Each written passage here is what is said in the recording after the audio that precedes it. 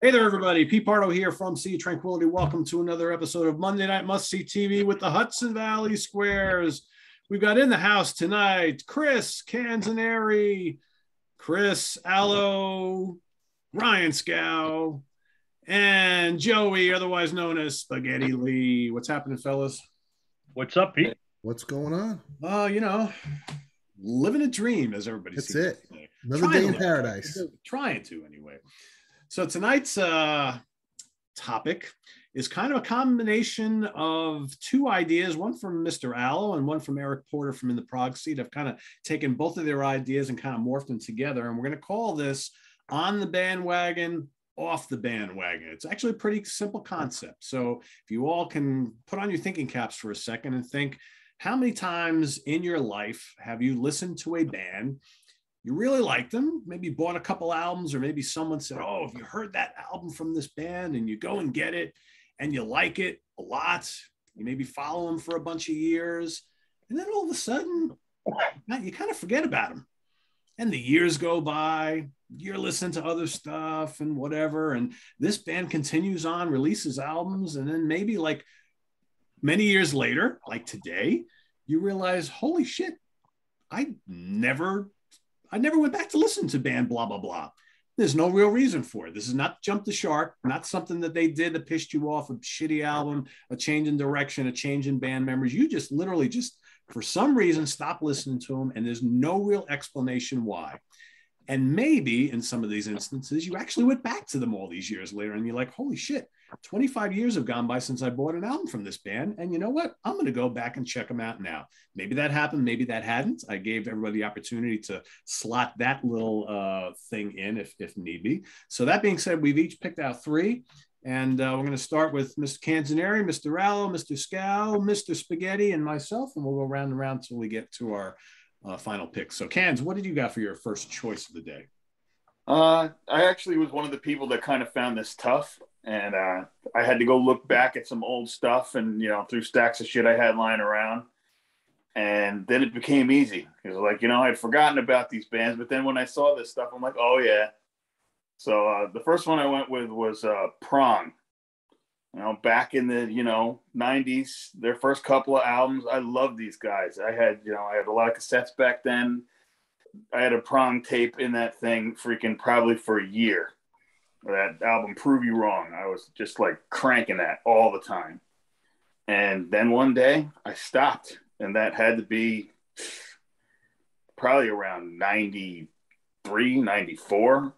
You know, and I, I just like was looking through and I found a couple tapes today. I'm like, holy shit, you know, I know they're still around. I know they played locally fairly recently. Yeah, they were Saw good too. chance. Yeah. I just saw you him. know? So uh, you know, I think I might start again there, but those guys they just they went whew, away somewhere and then they just came back. So I'm gonna start checking out Prong's newer stuff soon. Yeah, I was going to say, Yeah, and I, and I think in doing all this, we probably should also kind of maybe try to figure out why did we stop listening to them? You know, like what happened? So in your case, do you think it was just you moved on to other stuff, or maybe they took a bit of a break and you just you, you never went back to them? It's it's some some Thinking back, you know, I, I just bought a couple other albums and it was actually, you know what really we were talking about 92 recently. This is, you know, when Rust in Peace and Vulgar Display and stuff like that came out. I was definitely spending a lot more time with them than Prong. So I don't know. It just they just flew away. Yep. yeah. So cool. That's a that's a good way to start this, kick off this whole. They were, uh, yeah, they just played the. I saw them twice opening for Overkill. They were still, they were great. They put on a great set, a lot of energy. Uh, yeah, and I was kind of in the same boat because I've, I don't know, I was never a big Prong fan, but I liked the first album, Force Fed, a lot. But watching, I'm like, yeah, these guys, they still put on a goddamn good show. I enjoyed Yeah, the hell out of it. I, yeah, I too. remember reading just- good things about it. I enjoyed the hell out of it. four weeks ago. Yeah. Yep. And, and they were quite good opening up for uh for overkill. Overkill. Yeah. Yeah. Yeah, it was they were good. Yeah, cool. Good choice. That's my All right, bad. Chris Allo. Yeah, Nice. Yeah, that was good. That Prong was a good pick. Uh, yeah, this was. Uh, I, I thought, uh, you know, this idea kind of clicked with me because Steve Keeler mentioned on an episode months and months ago, like, yeah, you know, sometimes there's just there's just bands you're just into, and then somehow they just poof, they just disappear on you. And um, Well, uh, this band I thought of because um, I watch way too much crap on YouTube, and um, you know I'm a big uh, Ministry fan, and I got in the Ministry around 89, 90, and I seen them. I don't even know.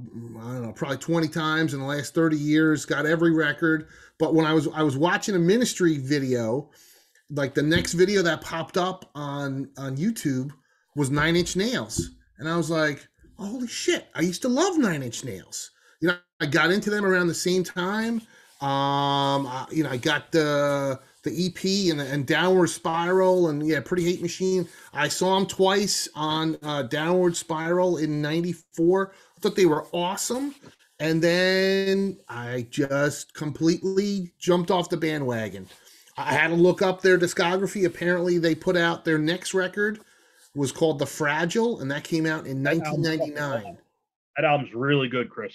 Okay. It's, uh, it's a double album. There's a lot of lot of meat to it, but it's really good. It's well well worth going back and digging into that one. All right, cool. I'll I'll, I'll have to check it out um, because then I looked. I mean, they have this all these records, uh, uh like all these records called like Ghost. I think it's like I don't know that stuff. Four, I, I kind of got off of the, off of the fragile, but uh, yeah, but, Fragile's fucking great. But after that, yeah, they broke up and came back, and you know. I'll have to I'll have to go back and check it out. But yeah, I, I have no idea why I jumped off the bandwagon. I mean, in '99, you know, I was listening to a lot of stuff. I was starting to write for fanzines and interview bands, and you know, I was really into you know death metal and black metal and whatever else. So uh, maybe that's why, but I don't know. I'm just I'm just not sure. Yeah. Cool. All right, Ryan.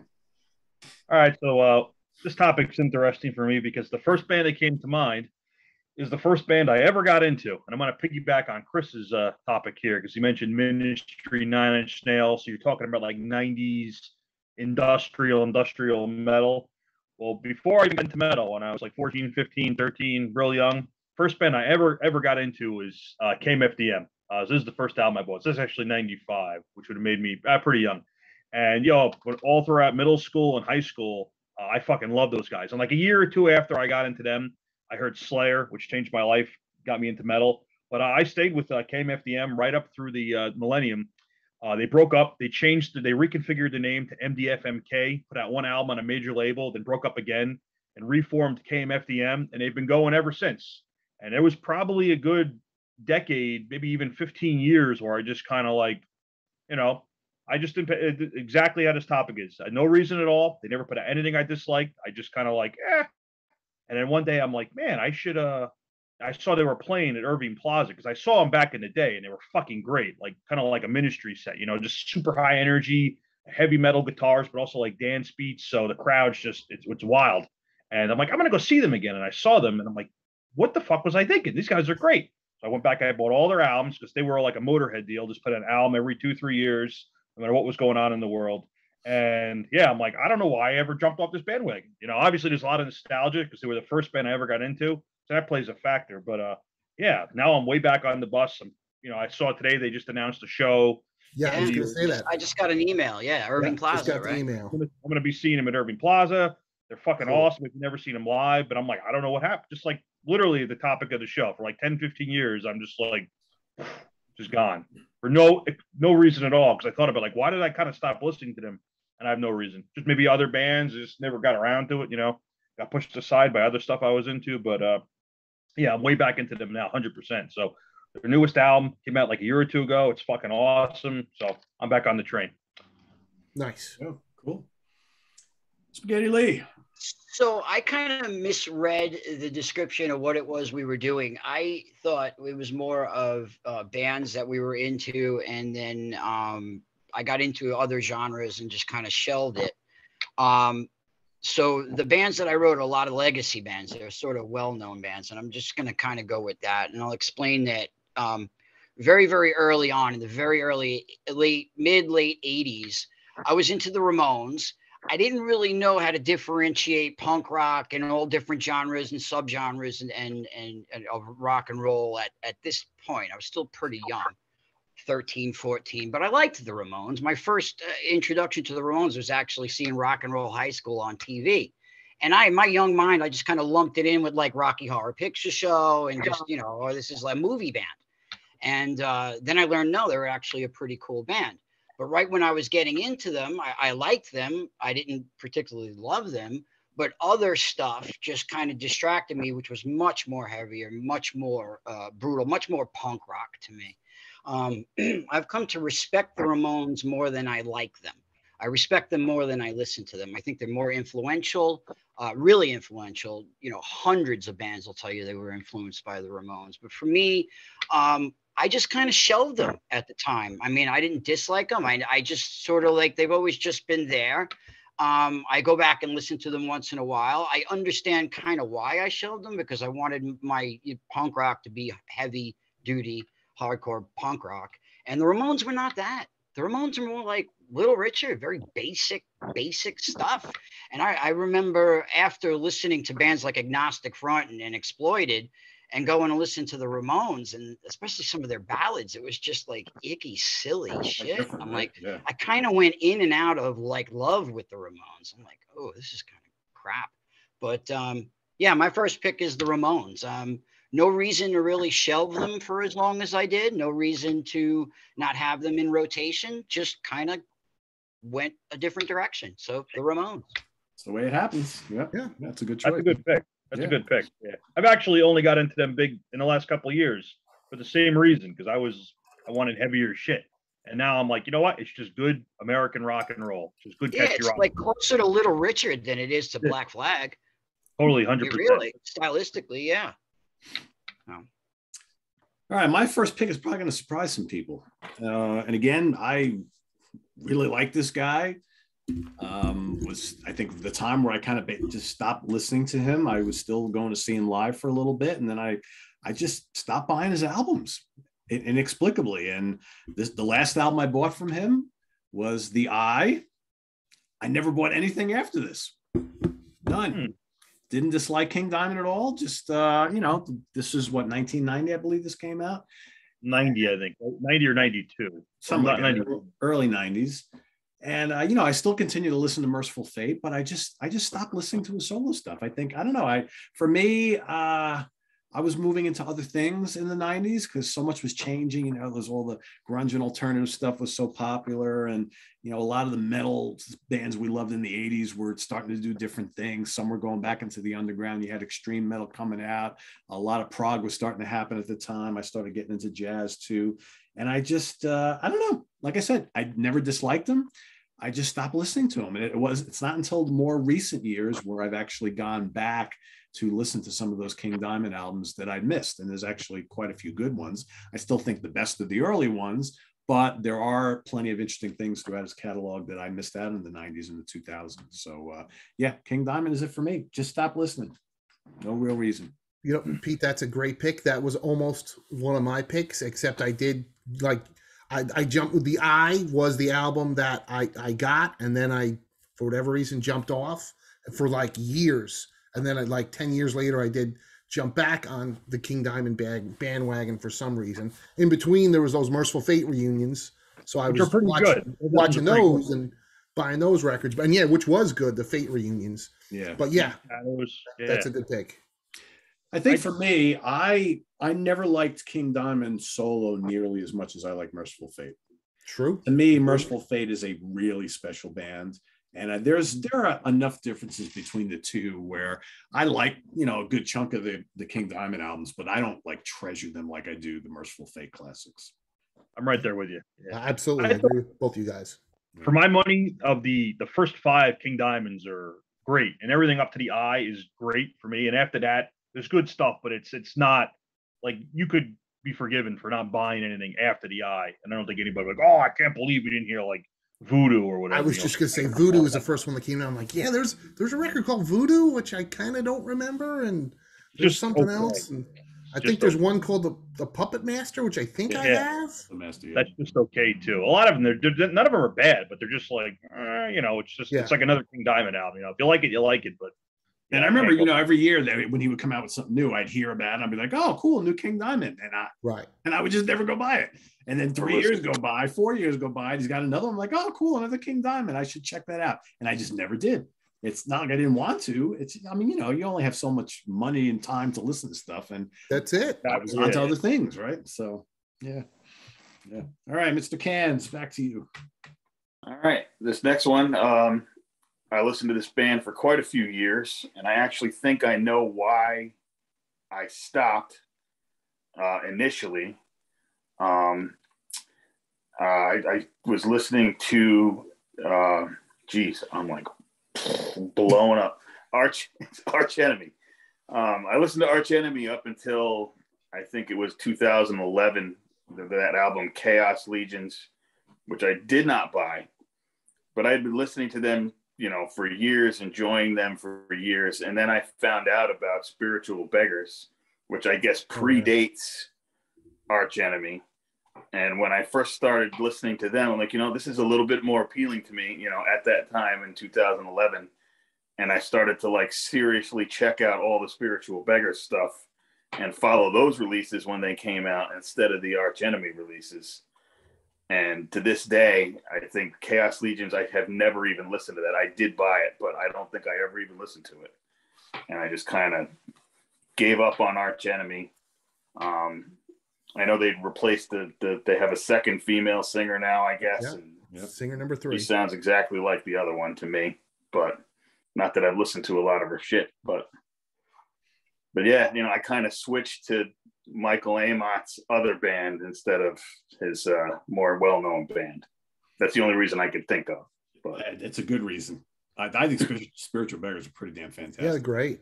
Yeah, They are good. They are. quite different though. Quite Oh yeah. yeah, but at the time, you know, after almost ten years of listening to Arch Enemy, I was like, "This is cool. How did I not know this existed all this time?" Yeah. Well, you know, I mean, when you think about it, I mean, I, I dig Arch Enemy a lot, but there's kind of a formula there, right? It's like after a while, some of those albums start to sound the same. And then you know, all of a sudden, if you, I, I, let- I mean, let's face it, most of us probably really listen to Arch Enemy because we totally love the guitar playing. I mean, that for me was always the main Yeah. draw. I thought Angela was terrific, but I mean, for me, it was the guitar playing. And then, like you, once I found out about Spiritual Beggars, and I was like, oh, Amott's over there too. And then, you know, that's kind of like this kind of doomy stoner type stuff, you know, retro 70s heavy rock. I'm like, wow, this is completely different. He's still kicking ass playing guitar in this totally different band. Let me go investigate this for a while. So I could totally see that. Cool. Good choice. All right, Mr. Allo, back to you. All right. Uh, my next choice is uh, uh, another one inspired by uh, another one of our Hudson Valley uh, Square people, uh, Mr. Butch Jones, who's got his uh, uh, butcher shop Facebook weirdo page group thing or whatever the hell you call it. And he did this big post today on uh, Raise Your Fist and Yell, which was an Alice Cooper record in. Um, 1987, and he was talking about how, how great it was. And um, I loved Alice Cooper in the in the early 80s. You know, I wound up getting like a greatest hits album for like two bucks, and I knew a lot of the songs anyway. And I really got into Alice Cooper with the Constrictor record and Raise Your Fist and Yell. And uh, I saw him on the Raise Your Fist and Yell tour. I thought it was amazing, and I was totally you know into Alice Cooper then for for years buying all these records, although I can't fucking name you anything off at, off of them. And uh, but I looked, you know, after Butch's post, and Alice Cooper did do eleven studio albums since uh, "Raise Your Fist and Yell." And when I was looking at them, sometime around Brutal Planet or Dragontown, which is in the 2000s. So I mean, I did a good, you know, 14 years of buying all the new records and seeing them on every tour, but it just I just kind of dropped off for some reason. Uh, like I said, didn't didn't do anything bad. He always put on a great show. Some of those records, I remember them being kind of good, although I, I couldn't name you anything off of any. I couldn't name you a single song off of any of them now. And I know I, I remember I seen I saw him once open for Heaven and Hell in like 2007, and uh, I saw him like four times open for Maiden, and maybe that was 2010 I think so, yeah. 2012 something i don't i don't even remember but you know he was good and i was like oh cool there's another new alice cooper record maybe i should check that out but i, I never did um, so yeah looking at it now there's like you know probably six or seven alice cooper records in a row i i, I never heard or, or bought or you know, saw him again headlines. So yeah, you know, this this one fits perfect uh, for me. You know, just jumping off the Alice Cooper bandwagon. And I will say, most of those albums that you missed are all pretty damn good. Yeah, I mean, I, am not surprised because he he seemed to get like really heavy and uh, yeah, they're, they're all pretty rocking, pretty heavy. Yeah, it's, they're pretty good. I I like them. I, I think most of his albums overall throughout his career are pretty damn solid. I mean, I'm, I'm, not crazy about a lot of the the kind of like the blackout period stuff, but I we've talked about that at nauseam here on the channel. But uh, but yeah, I think everything he's done since he kind of came back in the mid late 80s uh, has been really solid, I think. Yeah, I mean, the, but the there's a lot of it, right? It's a, it's another. It's kind of like the the motor yeah. we are talking about off camera. It's like there's there's just so, so many, many albums. Yeah. Yeah, it's so much. Yeah, I mean, like I said, eleven records since Raise Your Fist and Yell. I'm like, holy shit, that's a whole discography right there. It is. It is. And um, but yeah, I mean, the the one little looking back, the one that which I haven't heard in years, the one that I thought was kind of a shitter was Constrictor because it was really poppy. You know, the the production was really super thin and the songs were kind of crappy, but Raise Your Fist and Yell, I thought definitely uh, you know, raised uh raised the bar and yeah, uh, and um I remember a couple couple songs from like Brutal Planet or something were Brutal were Planet's pretty heavy. Fairly, yeah, I do remember him going like in a in a you know much heavier direction, but yeah. but yeah, I have to have to look look up some of those records somewhere Sydney Taylor is smiling and frowning at the same time now. Yeah. Well, I thought I heard. I'm like, hey, well, I'm not gonna fucking lie. I'm not Sydney. There's all these fucking Alice Cooper records that I don't have. You know, all these tours I obviously skipped him on. Yep. Yep. Cool. Good. And even that, like a couple tours in the recent years, I was like, oh yeah, you know, he's playing uh, in Bethel Woods with with Halestorm. That's kind of cool, but then I didn't go. And then you, you know, recently he came through a couple times. I was like, oh, that's kind of cool. Maybe I should go see Alice Cooper again. And I, I didn't go. And I saw the set list. I was like, oh man, I know like every song. I, I should have went. Maybe I'll go next time. Yeah, I've seen him a couple times in recent years. Yeah, great show. Still, still puts Is on. Is he still going? Is he still touring? Yeah. Oh yeah. Oh, it's unbelievable. Yeah. Yeah. Just stop. Almost I mean, the best part, right, is Alice Cooper was the opening act on the Motley Crue farewell tour. Like this guy's this guy's still going, and you guys are like, ah, forget it. We're we're packing it in. He's got well over a decade on those guys, unlike yeah, right. oh yeah, yeah, big time. Wow. All right, Ryan, back to you. That, that is funny, Chris. I made the same. I'm like, oh, Alice Cooper's tour, and that's cool. I didn't go see. Last time I saw him was opening for Maiden several times, and he was fucking great. He was but, uh, really good. It was that like two ten or two twelve? Yeah, somewhere in there. I thought he somewhere kicked in ass. there. Totally kicked ass. But uh, yeah. All right, so uh, yeah, when I was a teenager, I got real in the Slayer. Obviously, given my age, it was the '90s, so Dave Lombardo was out, Paul Bostaph was in. So Dave Lombardo went off and did another band for a little while, who I got into pretty early because I, you know, I'm like, well, what's Dave Lombardo doing now? And this was a little before he joined up uh, for Testament for the Gathering. So, but he was in a band called uh, Grip Inc. for a little while. And uh, man, I, I bought uh, the first album, Power of Inner Strength, and I bought this when it came out, Nemesis, their second album. And mean, I, I fucking love this album. I don't know, it's it's not it's thrash. There's like a little groove metal. It's very 90s sounding uh, the production is massive. Dave's drum kit sounds like a million bucks. You could kind of tell that it's his band, so the drums are given real good emphasis. But he's he kicks ass on it. He plays his fucking tits off, so it's really really good. And uh, they put out three albums, and then they just kind of fucked off. And actually put out. So what happened was they put out a fourth album in 2004, which is already ancient history, which I didn't even know about until no, like didn't no idea. 2015, 2016. I'm on the internet one day. I'm like, oh, I didn't know about that album. I had the first three, which I hadn't even listened to it a while, so I dug up the fourth one. It's really good. Uh, it didn't have that same like nostalgic, you know, pull as the first three, but I bought it for like two bucks off eBay or whatever. I'm like, this kicks ass. So ever since then, you know, I uh I go back every now and then I throw these albums on. This this this one's always been my favorite, Nemesis from '97. Like, yeah, this this is great. It's like very atmospheric. Has a lot of like uh you know, one song has like this heavy tribal drumming. It kind of breaks into a thrash song. You know, it segues into that. Great albums. Like that's a deal where I'm like, I don't know why I stopped listening to them. They did break up for a while, then reform, and then the singer uh, passed away some years ago, well over a decade now. So they, they are permanently broken up. But yeah, in the last four or five years, I kind of went back, dug those albums on. I'm like, I don't know why I ever put them aside because this is good stuff. Lombardo sounds amazing. The The guitar playing's great. The vocals are great. Uh, it's very unique. It didn't really sound like anybody else in the '90s that I can think of. Didn't sound like Slayer at all because that was like, well, you know, it was obviously Lombardo and Slayer had it was thrash metal in some parts, but very, very little Slayer influence. So uh, I don't know. I think they're great. And uh, I threw this on today, and I'm like, this album still fucking kicks ass. You know, zero regrets to uh, digging them back up. But yeah, that's my second choice is Grip Inc.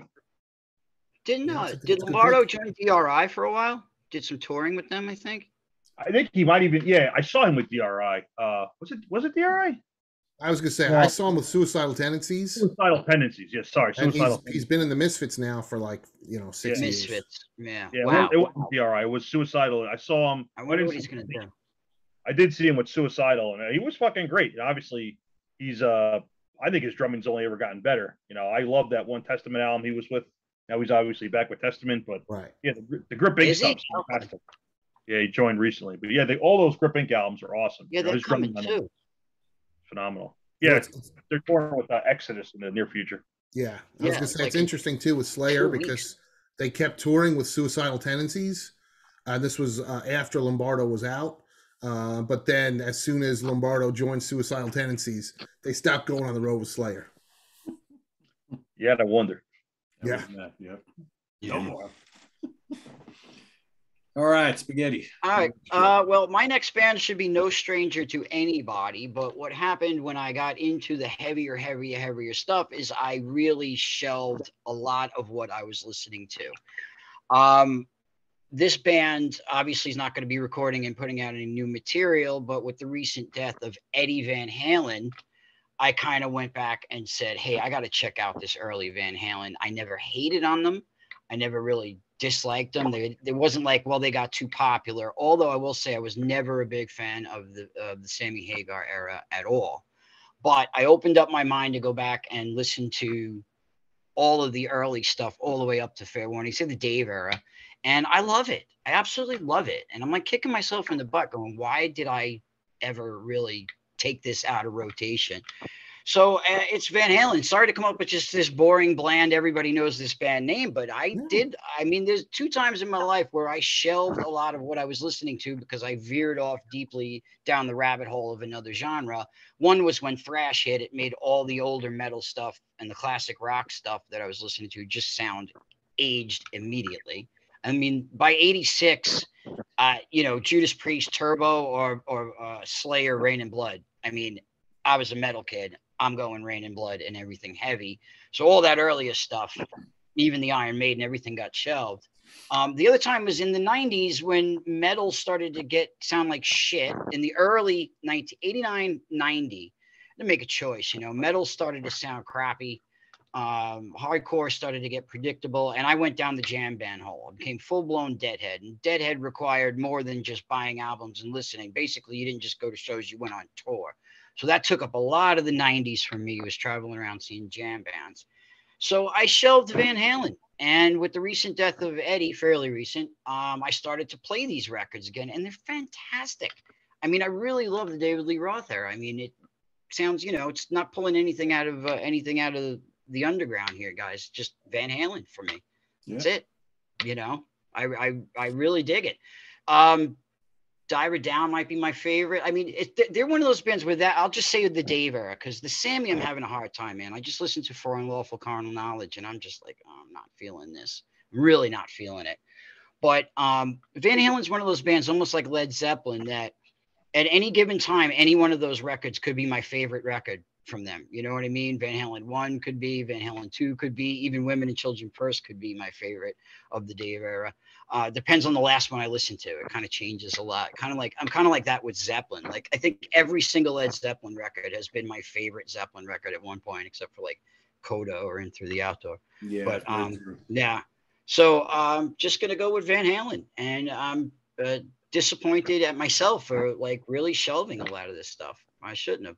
So. It's a, it's actually it's a good pick, and uh, and I, I I like your comparison to Zeppelin, and I'll tell you why. Because there are so many people like whenever we do these lists here on the channel where we talk about our favorite bands and our favorite albums and when we don't mention zeppelin or van halen on these lists like people get offended and they're like how can any list not have van halen or led zeppelin on it? It's like like it's almost like that should be a default for any rock fan, right? And it's like sometimes there's nothing against those bands. They're both amazing and legendary and great, but sometimes we just like stuff more than others, right? That's just Yeah. kind of the way it goes, right? There's just not enough time in the day or in life to listen to all the music that I like. I mean, it just keeps coming and new stuff keeps coming. And I kind of try to keep one foot in the underground all the time. And um, so there's always new stuff coming. And when new stuff comes and I get really into new stuff, the older stuff just gets shelved. Yeah, that's the way it goes. You don't hate it, you just you just stop listening to it for a variety of reasons, right? Yeah. Yeah. You're right. There's only so many hours in the day, and there's Yeah. a Yeah. lot. Of, I mean, the room I'm. I mean, you too, Pete. The room I'm sitting in is fucking wall to wall CDs and records sealing the floor. It's obscene. It's They're ridiculous. everywhere. They're everywhere. Yeah. All right. So when we decided we were going to do this, uh, this guy came first to mind. And I almost wasn't going to include him today because I know we like tend to talk about more like hard rock and metal stuff on this show. But uh, it, this was just so obvious for me because I, throughout the 70s, as a kid, young kid, I just idolized this dude and I listened to him and his band so much. And he was in, he was in an even more legendary band before that. But like when the early 80s came around, you know, Paul McCartney and Wings broke up and Paul started a solo career. And he put out this album, which I bought at the time. And I was like, all right, this is pretty good. I like I like the wing stuff better, but it's still Paul. I love him. And then like literally like immediately afterwards, you know, I'm like up to here listening to Priest and Maiden and Scorpions and um, Black Sabbath and Deep Purple and soon to be Metallica and all this other stuff. And I never, ever, ever went back to a Paul McCartney album again till real recently, like 40 years later.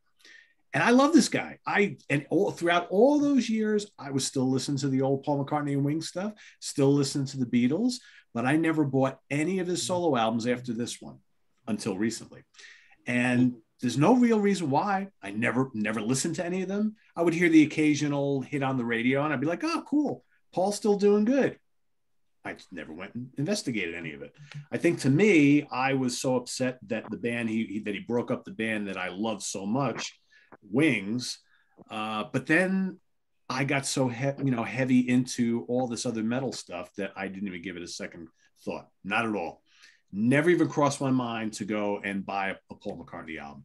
Always still love them, right? Always still listen to the old stuff. But I was just like, you know, oh, Paul's got a new album out. It's top of the charts, sold five million copies, number one hit single. I was like, cool. Never even considered buying any of it. And like I said, until recently, now I went, I've gone and picked up pretty much all of them. And it's like, yeah, I'm surprised I didn't go for some of this stuff because I am a fan. Uh, but again, better late than never. But yeah, no real reason other than I was just moving on to other things pretty quickly too. So Paul McCartney. Mr. Cans. Okay, uh, this next band, I can only think of one reason why I stopped listening to them. Um, before we started hanging out again, and before any of you guys knew me, I actually wasn't an out of shape piece of shit, and I used to run a lot. And I listened to Children of Bodom constantly when I was running. And the, the first four albums, I mean, I ate that shit up.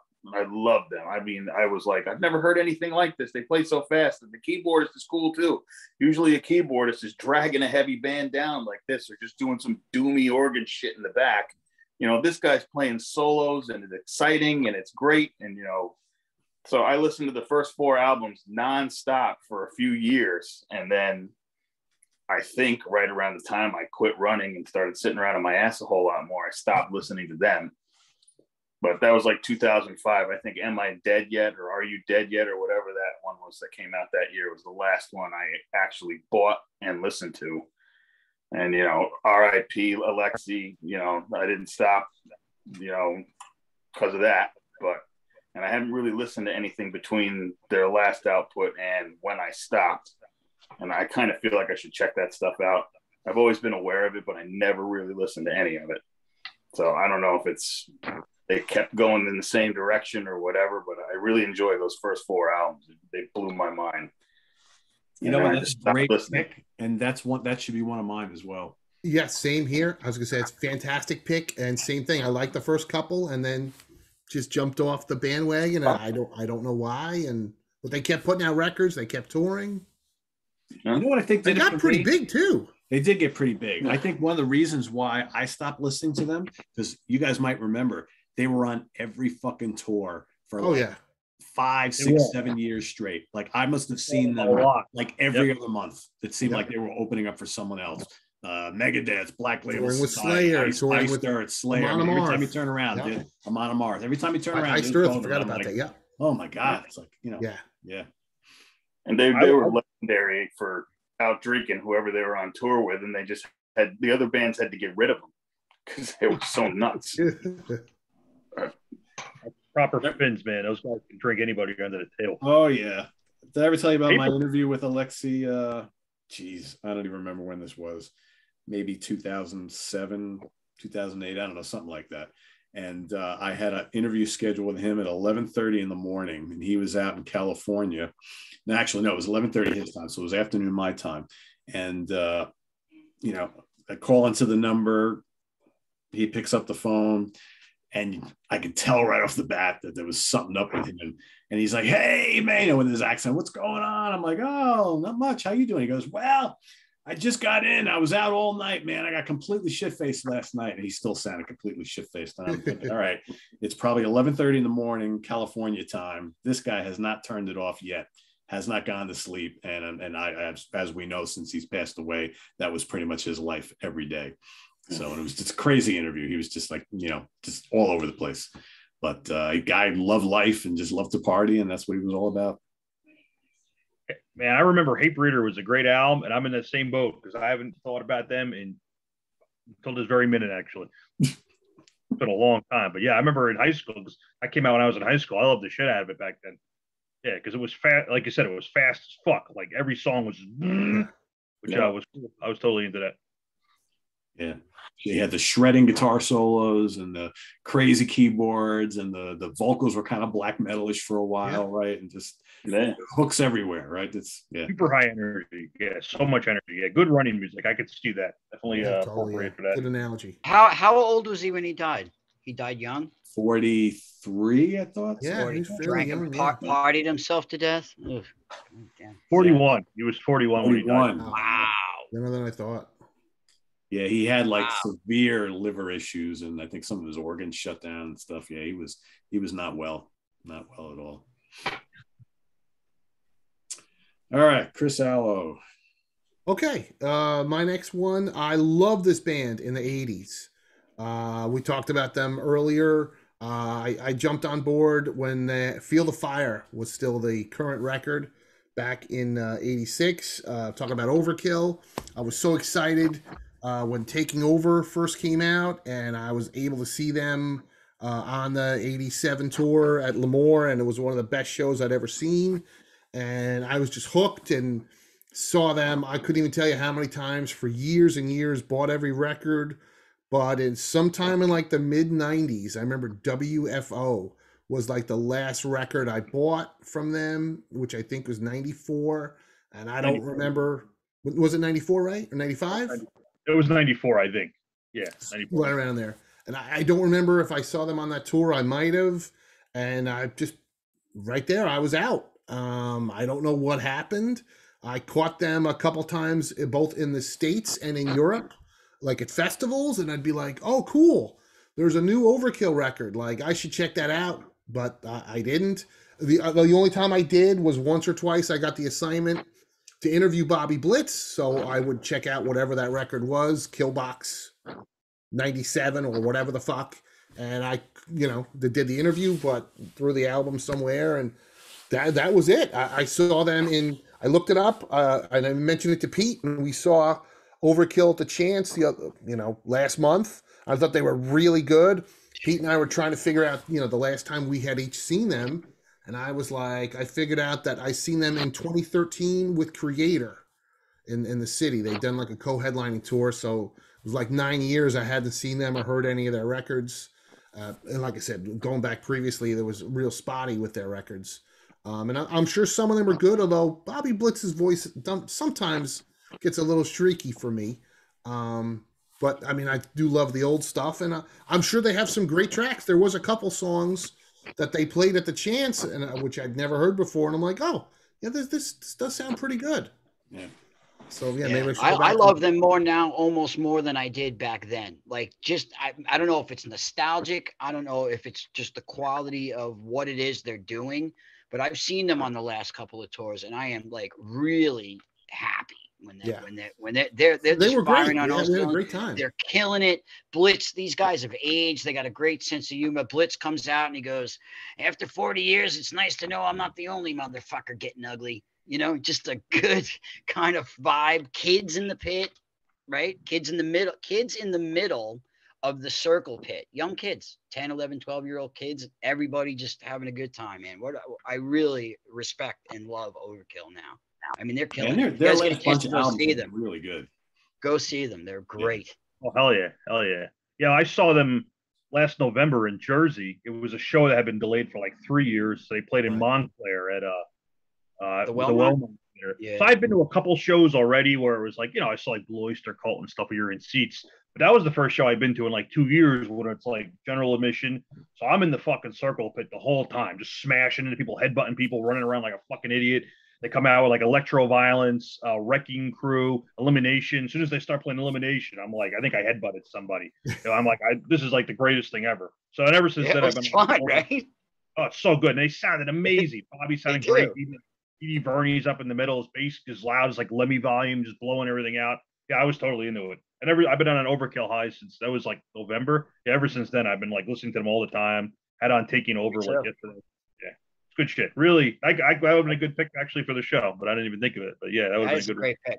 That's a great pick. They were one of my honorable mentions because that, that I had the same thing. I just kind of fell out of touch with them in the early mid '90s and for no no reason. And then Right. I think it was like four albums ago or three albums ago, I uh, I was sent one of their newer releases to review for Sea of Tranquility, and uh, I was like, "Holy shit, this is really good!"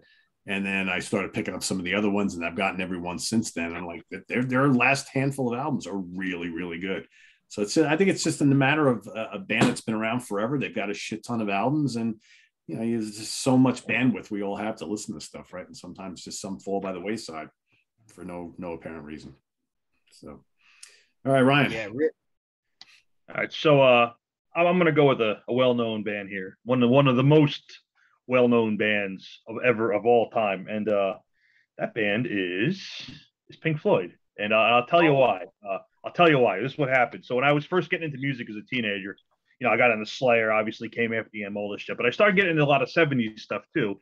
And the three albums that kind of like walked me into a lot of '70s rock were Led Zeppelin 4, Black Sabbath, Paranoid, and uh, you know, Dark Side of the Moon because it's like one of the biggest albums in the history of fucking everything. And I liked it. I thought it was really good. obviously, it's a classic album, like almost one of those albums where every song was like a radio hit. You know, it's just that level of mil- so millions and billions of copies. I bought that, and I bought The Wall, which I also loved. And I don't, and this is this is inexplicable. I couldn't tell you why. Uh, I just didn't get anything else from them for years, and I never stopped liking them. I like those albums, but then I, I don't know, they just kind of got on the back burner and obviously you can't get away from Pink Floyd. You know, everybody knows them. The shit's on the radio all the time. They have like as, as many famous songs. You know, if you start listening, like, oh, I know that song. I know that song. I know that song. They're one of those bands.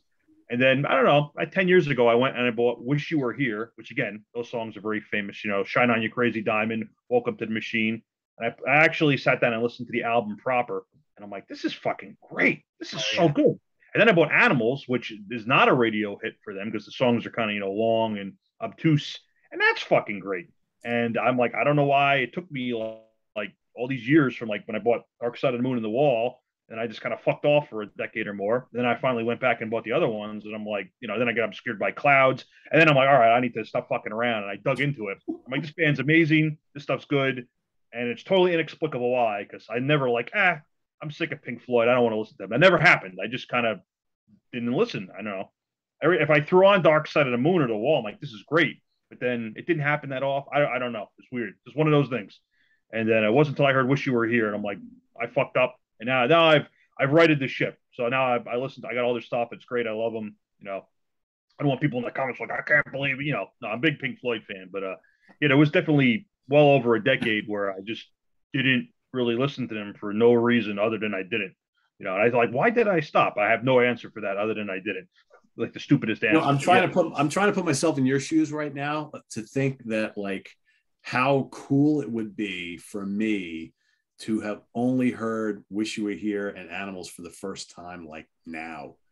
Yeah, well, it was a couple of years. Mind blowing, right? You know, and what's funny, I'm looking, I'm thinking about it. I'm like, those albums are the two, like Dark Side of the Moon and The Wall, bookend those two albums, you know, and their, their discography. So for some reason, I jumped from one to the other.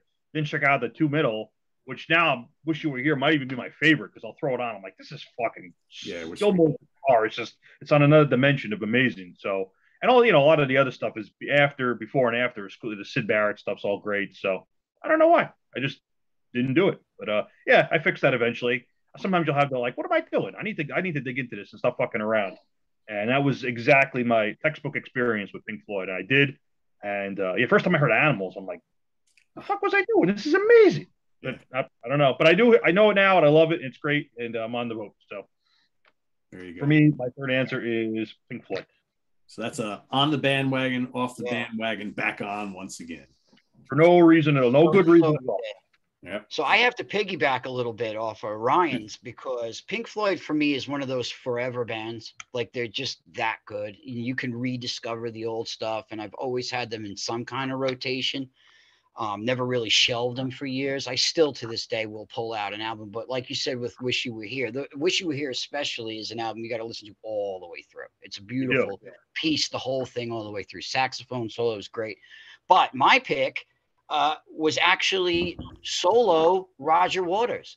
And what made me think of this is he's coming around. I've never seen him. I saw Pink Floyd after he left um, in the LA Coliseum in 1988, um, back when the uh, you know the the wish uh, the the uh, uh, excuse me, Waters had left already, and they were fighting over who's going to own it and all this. But um, it was without Roger Waters. Now he's coming around and he's touring solo and he's playing at the new Nassau Coliseum. I'm not even sure what it's called. They just built a new Nassau Coliseum. And I went to look at the prices and I just got massive sticker shock. UBS, right? UBS Arena, yeah. U, U, USB, something like that. I mean, nosebleed seats, Ticketmaster, $250. So I was just, well, forget it.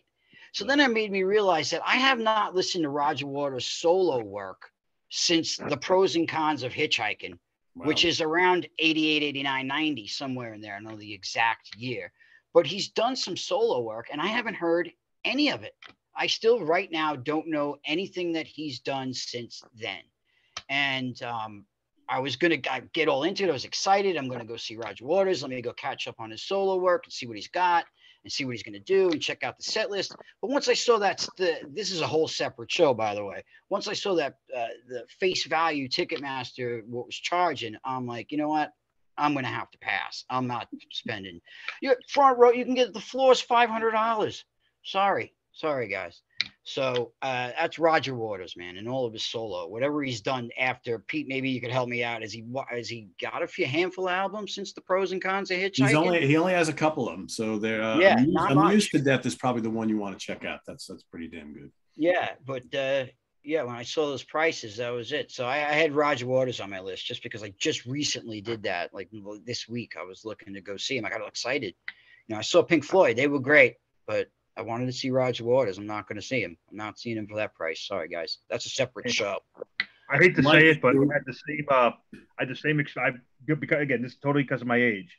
I've never seen the Rolling Stones because I, I totally am into the Rolling Stones, but they've toured and they played a couple times, and every time the tickets are through the fucking roof. Yeah. And I'm like, I'm just, I'm not going to pay hundreds upon hundreds upon hundreds of dollars to see a band that I like, but they're not one of my top ten bands of all time. You know, I like them plenty, but I'm not paying four or five hundred fucking dollars to see the Rolling Stones. So I've never seen them, and now I feel like you know, obviously, they're they're kicking off. You know, hopefully not soon, but you know, the, the clock is ticking, and uh, it's kind of depressing. But I'm not going to pay you know, basically yeah. a fucking car payment, you know, and an electricity and an internet bill rolled into one to see a band. So. Three hundred dollars for a nosebleed seat, a nosebleed seat. I'm like, just how much did you get in the building? Two hundred and sixty-four dollars for a half a mile away. Forget it. Ryan, I think when the Stones came around a couple years ago, I think I paid like 175 for, you know, seats pretty far up. And Yeah. I'll be honest with you, I didn't I didn't really enjoy it that much. I don't like. I, I mean, I, I don't like I don't like going to these shows with seventy five thousand people anymore. I just don't. I don't. I don't enjoy Yeah, it. I don't like arena shows. I don't like arena I shows. do it. Like I'll see, uh, I'll see Maiden, but like when I see Maiden, I'm general admission. I'm right by the stage, so I don't really care about everybody behind me. And you know, it's not cheap, but it's like maybe 120. But uh, it, I don't know. I'm not a nosebleed guy. Like I can't watch a show on a jumbotron. I, I'll just sit home and sit on the fucking Yeah, couch. what's the I want to point? watch Yeah. the What's the point? in front of me. So if I wanted to see the Stones, which I would have, I'd want good seats. And those were, like you said, five, six hundred bucks. And I could have Yeah. seen them for you know, what you said, 175, but I, I don't do jumbotron. Yeah. So I'm like, that fuck that. I'll just sit home. Yeah, I don't like. See, I'd pay I'd pay a couple of hundred if the seat was right. You know, I'm up front. I'm gonna be Yeah. looking at the guy. I'm gonna watch him play that bass, you know. But Absolutely. Three hundred dollars to sit a half a mile away in the upper deck of you know a stadium. No, no, no. I feel I feel the same way as you, Pete. I'm like, nah, you know. And now if someone gave me a free ticket to see that, you know, but that's different. But to- to pay that much money and still be like, you know, six county lines over, I'm not gonna fucking do that. But uh, that's just me. I was gonna say I'm not I'm not a Stones fan, but my uh my, my buddy Dave is a big Stones fan, and my brother-in-law is a big Stones fan. So in 1989, I think it was the Steel Wheels tour, and I, I I was really good friends with the guy that ran the Ticketmaster.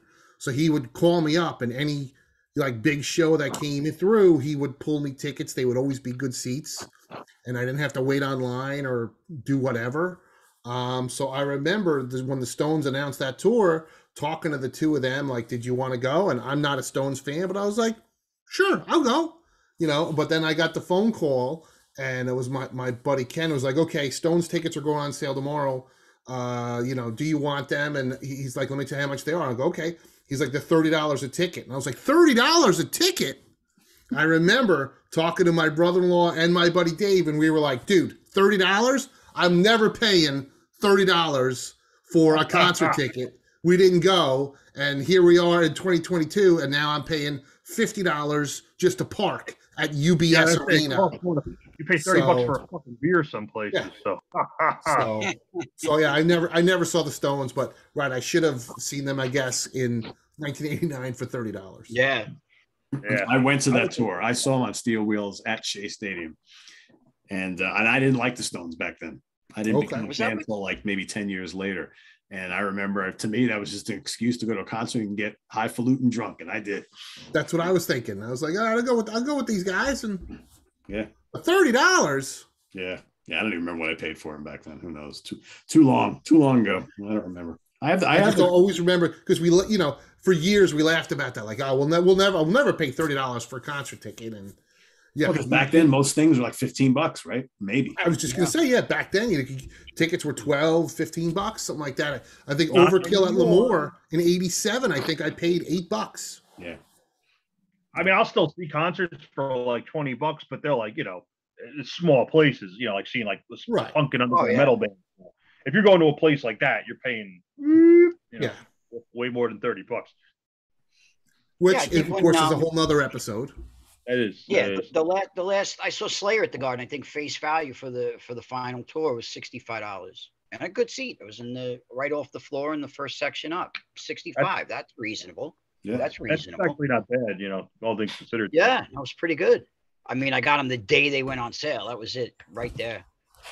You know, All right. My uh, pick here is um, a band I listened to, had a couple of their albums in like the late 70s. I was pretty young, but uh, I had some cousins who were into this band. They turned me on to them. I really liked them. And then uh, they broke up. And I went and, you know, years later, I got the whole rest of their discography. And then at one point in time, I found out, wow, Bad Company got back together actually, like much later on without Paul Rodgers on vocals. This is their last album in uh, 82, Rough Diamonds. And I was like, oh, cool. Bad Company's back together. Yeah, I should check that out. Never did. And I remember like in the early 90s, they released an album called Holy Water. They were actually, they had a new singer, you know, they were already like four albums into their career with the with the new singer. And you know, they were headlining over Damn Yankees. I saw them in concert at the fairgrounds, and I was like, oh, these guys are pretty good. Never bought any of their albums. Just, just, I was always like, to me, I was like, I kind of like what I had heard because they had some stuff that was played on the radio and it was it was pretty cool. Didn't really sound like bad company to me. And I was like, hmm, I don't know. I love Paul Rodgers. I like the early albums. I don't know if this is something I want to, you know, kind of dive into. And I just never did. I never did. Whatever I heard, I thought was okay, but not enough to go buy it all. And uh, yeah, I don't know. Just, just never bothered. It's just an example of me being lazy, I guess, or me like a mental block going up that like no Paul Rodgers, no bad company. I know I shouldn't say that because you know we we've talked about the whole Queensrÿche thing and many other bands who had singers who came on and replaced the legend. Uh, and a lot, in many cases, it usually it always works for me. But I think for me, the whole sound of Bad Company kind of changed because to me, the original Bad Company was like a product of the '70s. And you kind of take that sound and that band out of that decade and put them into the late 80s, into the 90s, and not quite the same. Not quite the same. Because I always thought that, uh, you know, that what I heard sounded fine, just didn't really sound so much like Bad Company for me. So I never bothered. I never went back on that bandwagon again. So I tell you, Pete, I love. I mean, they were one of the first '70s bands I got into, and I love, love, love those first three albums. And years later, uh, I heard, uh, I think, Dangerous Age. I think it was Dangerous Age, right? And I fucking hated it. I'm like, this is the stupidest '80s AOR, just. And I, I hated it. I heard it on YouTube. I hated it so much uh, I just completely erased it from my mind, and I never listened to anything. So I'm I'm on that boat. And someone will probably comment, and maybe some of the other stuff is good. Maybe. Well, I mean, I could, you know, they I, are. I they, they are. And, and I had to go listen to all those albums, right? Uh, numerous times. And actually, there's a couple of them that are pretty good. They're not okay. bad. There's a couple of them that aren't good. I think Dangerous Age is one of them. But I didn't like any of them enough to go say, because I'm I'm kind of a completist guy. If it's a band I really like, I usually go and buy all their albums but I was like, yeah, I for this exercise, I went and listened to them all many times just so I could do the show. And some, a lot of times when I do that, I'll actually go out and buy those albums I didn't have. I didn't even bother in this case. I was like, eh, I don't think I need to have them. I don't need to own them. They're okay. They, they are the, they are the quintessential '70s rock radio. Exactly, yeah, that's exactly. And, and they're excellent at that. Excellent at that. Yeah, really Once they get out of there, that they're, they're in that shoebox even the firm with the Jimmy, I didn't really even dig what they were doing there. Um, is Paul Rodgers doing anything? I think Bad Company's like playing county fairs or something. They, they do the greatest hits tour thing in the summertime. Yeah. Right. They do. Yeah, they haven't put out a new album since he got back in the band. They haven't done any new studio albums. I mean, I just looked it up. Dangerous Age is 88, and I'm I'm with what Spaghetti said, man. That the 70s stuff, it's like the Great. 70s, like you know, perfect 70s like uh you know radio rock band like down to the fucking exactly. like, check every box and i heard dangerous age and it was just like shitty 80s aor which but like which i'm okay if it's you know like old like asia i like you know stuff like that but this was not that this was i thought it sucked ass so it was it just like oh what the fuck yeah, it sounded very kind of like boring foreigner-ish to me yeah that's what i was gonna say yeah, that's that's that's right. That's like Holy Water, I think, is probably the best out of all those albums for me. I thought that was okay. pretty good, but again, I don't even. I didn't really feel the need to own it. You know, mm-hmm. so. I'll stick with the old ones. I'll be that guy. Yeah, I hear you. Yeah, because those yeah, albums, those early ones are classics. I saw the second singer. Uh, I forget whatever his name was, but uh, he played at a motorcycle rally I was at, and um, it was it was fun because he did his Bad Company songs, but he also did the Paul Rodgers songs. And, yeah. you know, being being drunk at a motorcycle rally and actually hearing songs you, you knew and liked. Uh, but I remember he came out. You know, he had like uh, he kind of reminded me looks wise of like he, he looked like he was trying to be David Coverdale. So the '80s analogy definitely.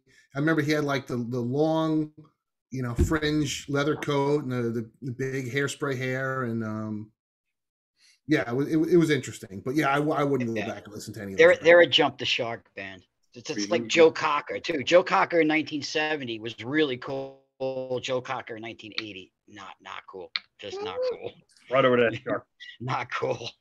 Yeah, I mean, you know, Brian Brian Howe is is is a really was a really good singer. It's just um again, I just I, I think me, I just kind of I just had a hard time accepting that band without Paul Rodgers, and it, it was like I don't remember how many years it was between albums. So uh it was only four. So like Rough Diamonds, the last one with Paul Rodgers, 82, then Fame and Fortune was 86.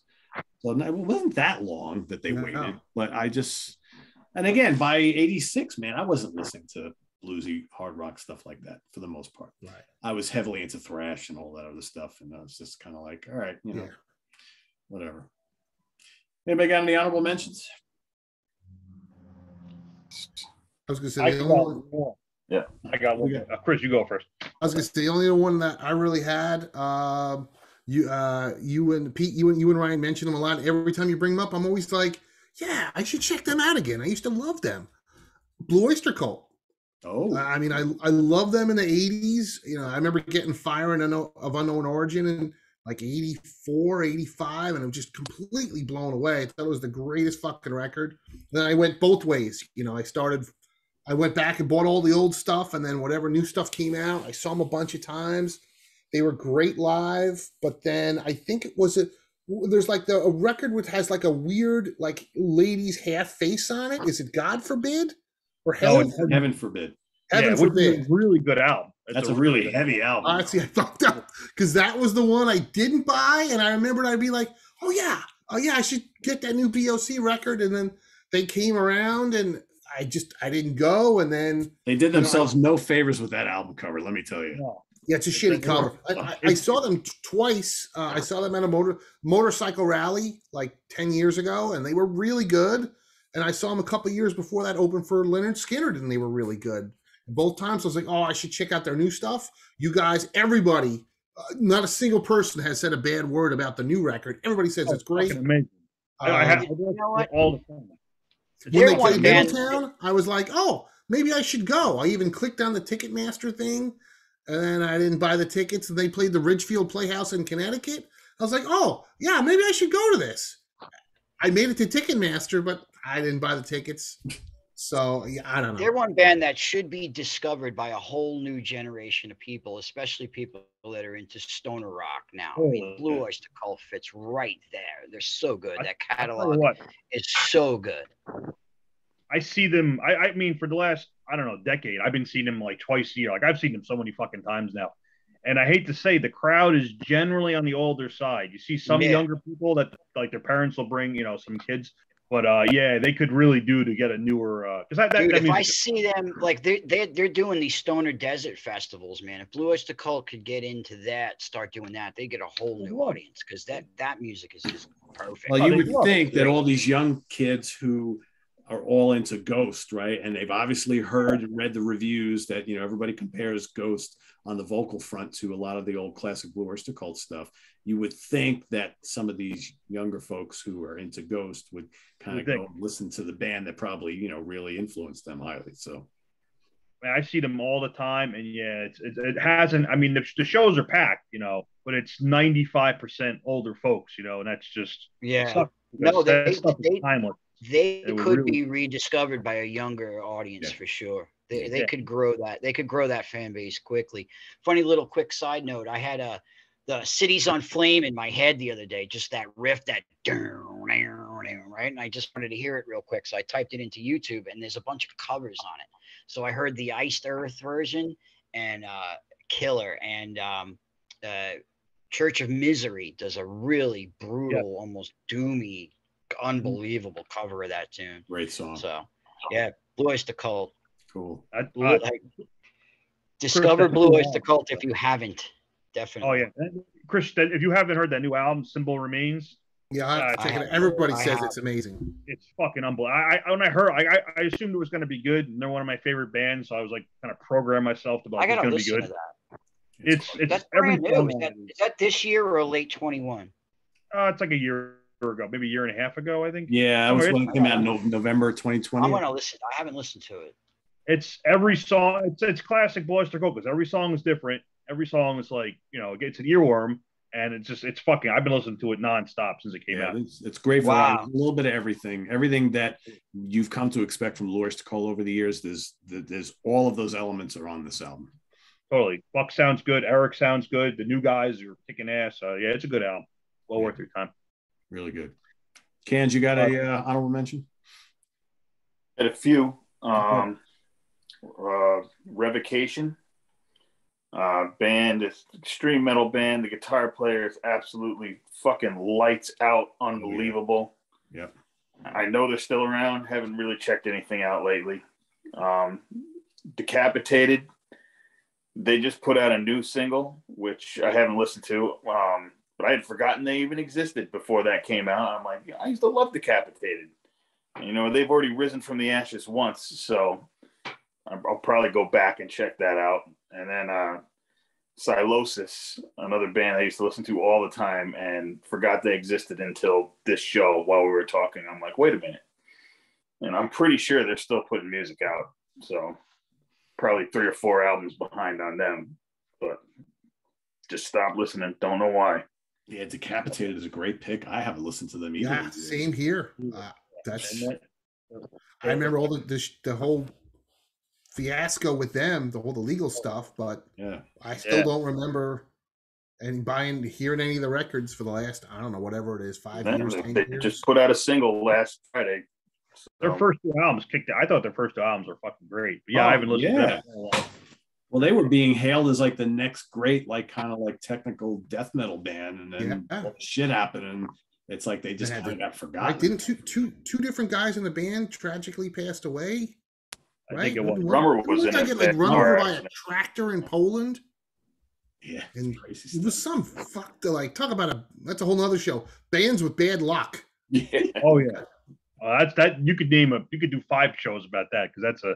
Yeah. That is, that is That a good short subject. Topic. yeah.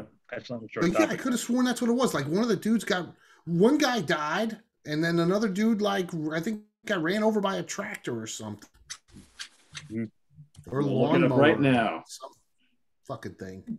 There was a. I don't want. I don't want to go off the reservation, but there was a New York hardcore band that I've seen more than any band on earth called Candiria. I used What's to see them like every week in the '90s. I, I saw them. They played all over. I saw them in Brooklyn, Manhattan. They played up here, and uh, at some point in the early 2000s, they were touring. and They got in a really, really bad like van accident. Like the driver fell asleep, and it was just fucked up. Uh, nobody died, but like they were all sidelined for for a long time. And uh, yeah, it took a long time for them to come back. I think the last I, they came back and I saw them at CBGB's, one of the last shows there where they shut down, and it was like their big comeback show, and the place was a fucking riot, like people swinging from the rafters kind of show.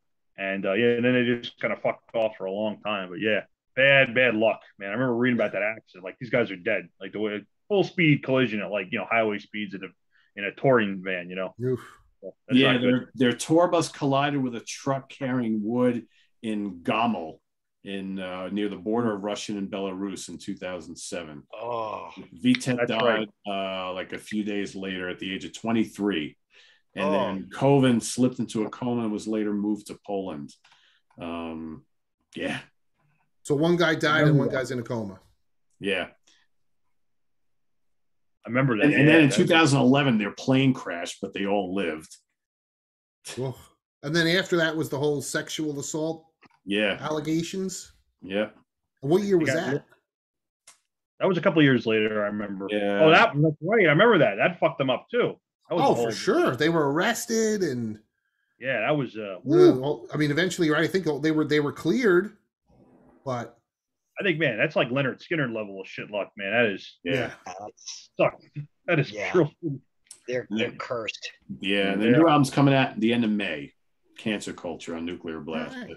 and that's their first Really? anti-cult in 2017. I never even heard anti-cult. Blood Mantra was in 2014. I don't think I. Yeah, that one I heard. That's the last one I heard. So yeah, Huh. Mm, crazy, crazy. Ryan, you got any honorables? Oh yeah, I got one. It's the same uh, same style of music as KMFDM, and I got into them real young. But the same situation as Pink Floyd. Uh, it was Canadian industrial band in the '90s called uh, 80s and '90s called uh, Frontline Assembly, and uh, this is their '94 album Millennium. Uh, this album's notable because it actually is one of the first times that a fella played guitar. So most of their stuff isn't really heavy. It's like heavy, but not with you know heavy metal guitars. But this one's got a lot of metal guitars on it. Uh, the guitarist is a fellow by the name of Devin Townsend before he uh, went on to do a uh, and Lad and all the solo stuff. But he really, this is one of the big things. He, so I bought this album in high school. It came out in 94. Loved the shit out of it. Uh, it's the same stylist KMFDM, Ministry, Nine Inch Nails, like same same thing going on there. I bought one or two other albums and then I just didn't buy anything else for no reason. And it was like my thing, like 20 years later, I'm sitting there and I heard a song on YouTube. I'm like, what the fuck album is this on? I look it up. I'm like, this is fucking amazing. I start digging, you know, I'm like, whoa, whoa, this is great. And I, uh, I'm like, why did I stop listening to these guys? No reason. Just whoop, right out of my head. So uh, I've since rectified that. And uh, now I have all their stuff and they're a great band and I love them. But uh, yeah, I don't know why. I took like 20 years off from these guys for no good reason at all. But uh, yeah, the, the 94 album, Millennium, is uh, if you were into that kind of industrial metal, Nine Inch Nails, like that sound, yeah, this I think this is probably as good as that sound's ever going to get. It's really, really fucking good. So that's my uh, honor, one honorable mention. Cool. Spaghetti, you got any? No, no one on the honorable mention. I mean, this is the kind of topic that if, if you give me enough time, I could make a list of, of, of 20 of these, 20 of these seconds. It's endless. Yeah, sure I mean, ZZ Top. I mean, uh, after Afterburner, I didn't pay any attention. Now they're putting out good records again, supposedly. Yeah. I don't know. So, no, not really. Okay. Not really. My last one for today. This was uh, Ryan just mentioned like going 20 years without listening to any new music from a band you really like a lot. Freaking Saxon was it for me. This is the last album I bought, like in the mid 90s. And I like this a lot. I listened to this today and I'm like, this still album still kicks ass. I still I got a crush on her if you hold that up. Oh, yeah. what yeah, a face. Yeah. Ah, what a face. I forget what her name was. She was a popular model at the time, but um, but yeah, I just stop listening to Saxon. I didn't get back on board the Saxon train till like Lionheart, which is like literally almost 20 years after wow. this one. And uh, and I've since gone back and gotten all those, and I'm like, God, how did I? How was I not listening to Saxon? But but again, you know, uh, here's another factor too. Sometimes these bands, like back in the day, were hitting their stride, hitting big here in the states, and then all of a sudden they had a couple Saxon. of yeah, all of a sudden, a couple the album sales slip. They stop touring here. They get there's no marketing. They're releasing albums, but there's no promotion here, no nothing. And we've all moved on to other things, right? So that to me, Saxon, I I literally thought they broke up for years, but then I, you go back and look, and they were busy as ever. They just weren't busy doing anything here at all in the states. So that's another somebody, factor, right? How many bands fall into that? I mean, after after Denim and Leather and uh, you know Wheels of Steel, I, I, it was a desert from them. I didn't hear anything from them. For oh, Crusader, Crusader was pretty big here. Yeah, I was gonna say, I think Crusader. Well, what's the one? Uh, Power and the Glory Power is actually Glory. their biggest selling record. That, yeah, that's that song is like I can't listen to that song without like flipping tables over. But yeah, Crusader, the album, I think the artwork's cool, but it's kind of like I don't think it's their best stuff. But it's yeah. not. They're in, they're yeah. they're another band that thrash sort of. I shelved it. They were just they were like light metal. Well, plus two, they they Instant. you know they definitely toned down their style when everybody yeah. was getting into the heavier stuff.